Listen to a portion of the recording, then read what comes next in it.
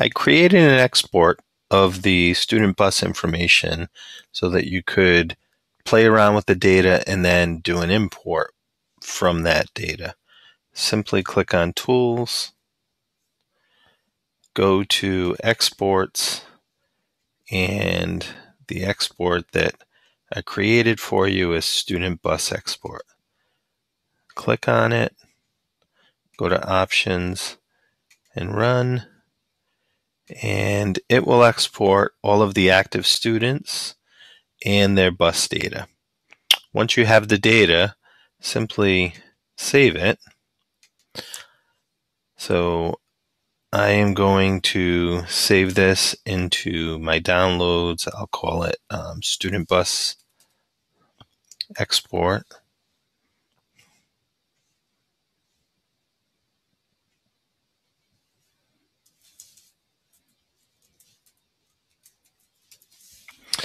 And I'll save that.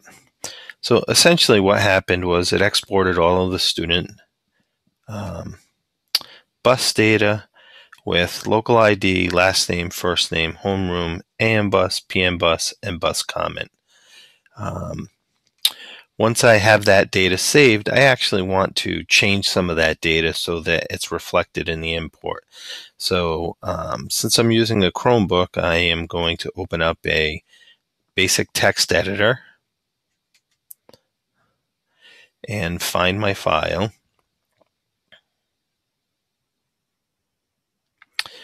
Once I locate my file and open it, I'll be able to edit some of the data in it in that file and then save as and import that data. So here's the, the data I want to edit. I actually get a, uh, a text file that I can um, make some changes to. So um, if I want to change Gloria Abbey's data, I can actually say um, uh, student stays with YMCA. And I can come down here to Atticus Ackerman and say uh, grandma picks up on Fridays. And for Victoria Adams, I can say uh, make sure um, siblings are together. And I can go in and save this as student bus, and I'm going to change it from student bus export to student bus import.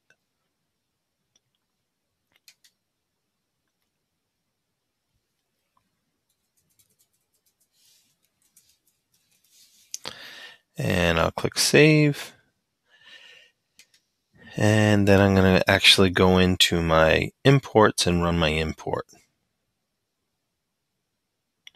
So I created a bus import in here called uh, Scenario 1 Bus Import. And when I go to Options and Run, I choose my file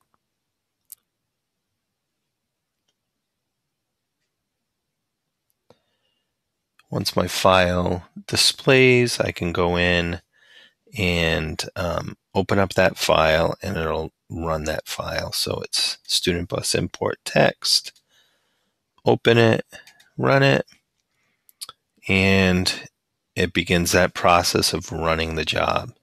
Um, that should only take a few seconds to complete the job. You can actually go and look at the job details, um, and you'll also get a nice little um, splash screen as to what took place. So it actually matched 3,608 records, which are my active students, and it updated three of the students and it skipped one record. And the one record that it skipped was the actual header rows.